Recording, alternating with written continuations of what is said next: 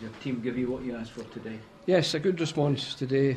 Uh, We've been appealing to them to please the fans and get a home win.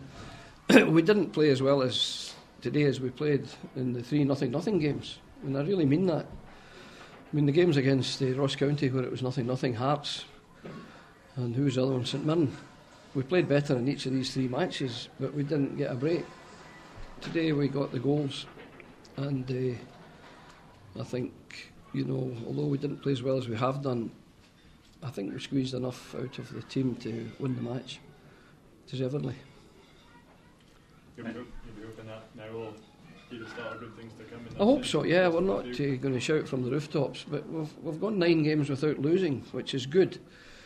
But uh, five of them were draws, and that's what I was complaining to the team about draws. And I was saying to them at half time, go out there imagining you're a goal down, not and not accepting a draw.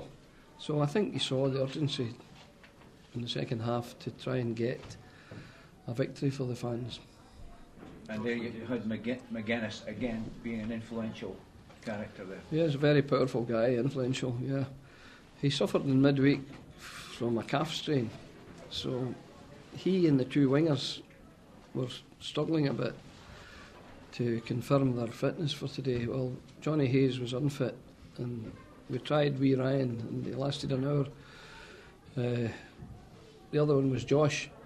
We didn't say anything about Josh had a, a calf which was very, very tight, and we might have been able to start with him if we had to. But we've got a solid pool of players here. We can manage to compete with a player or two short, and that's good. Is, he going to is he going to cause you a nice problem now? Do you think where he's playing? I've got a major selection problem now. to play him because of because of how, how useful he is all around the park as well. Yeah, well, eh, Magennis can play at fullback very well. He can play up front very well.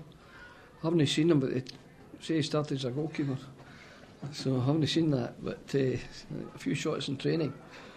But he's versatile. That's good. But the, the two wingers been out today. Well, at the end of the game, if they're fit for next week, I've got a tremendously pleasant selection problem because they've been setting us alight in the earlier games. Uh, but now Magennis is fit, he gives us another dimension too with a bit of pace and he's got uh, an eye for a goal, works hard.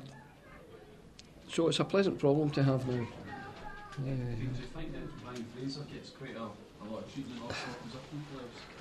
He does, but I thought I thought the referee handled it sensibly and well, you know, and uh, I think Calum Murray's outstanding as a referee, and he handled that situation well. And I thought that it's not it's impertinent of me to say talk about another team, but the manager handled it well too.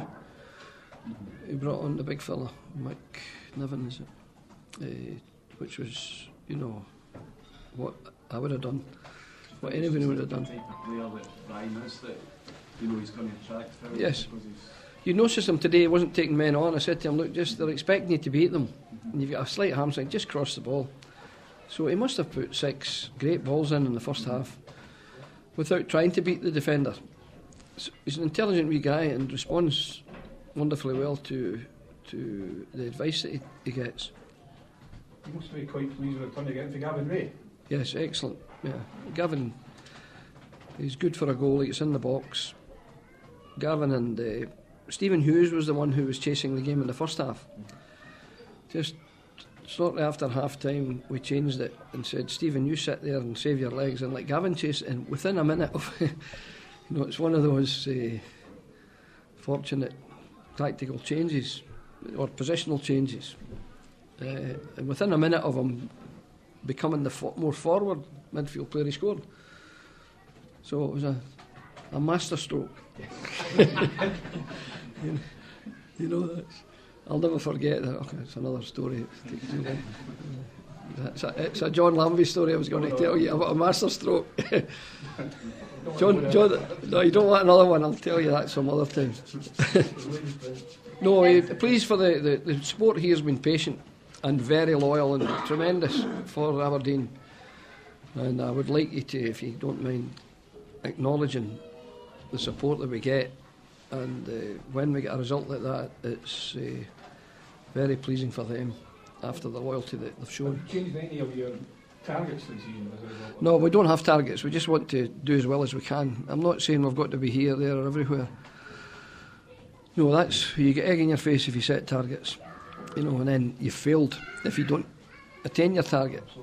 The target's to do as well as we can in every competition, and we're lucky we're in the last eight of the cup, and uh, we're still in competing in the in the league.